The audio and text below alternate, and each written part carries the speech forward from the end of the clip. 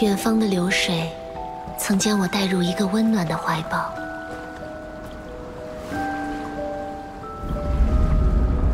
在很长的一段时间里，他们将我的到来看作是上天的礼物。巧合，命运，诞生了无意义的希冀。人们相信，是我为他们带来了收成与希望。尽管如此，我依然对周遭的一切产生困顿与不解。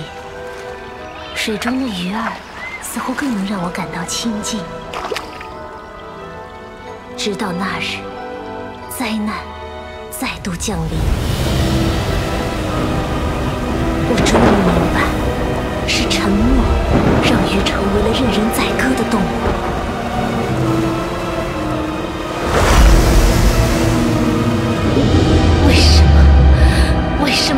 能说话呢？